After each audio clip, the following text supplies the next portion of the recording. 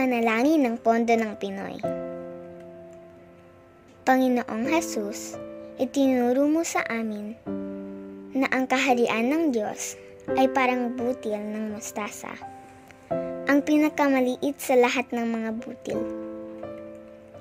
Ngunit kapag lumaki, ito ay nagiging mataas at malaking puno, kung saan tumitira ang mga ibon.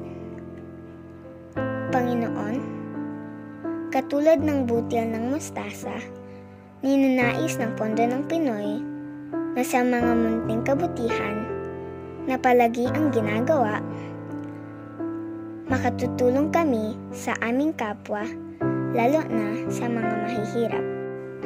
Itinuturo din ng pondo ng Pinoy na sa patuloy na paggawa ng mga munting kabutihan, hindi lamang ang nakatatanggap ang natutulungan, kung hindi maging kaming nagbibigay.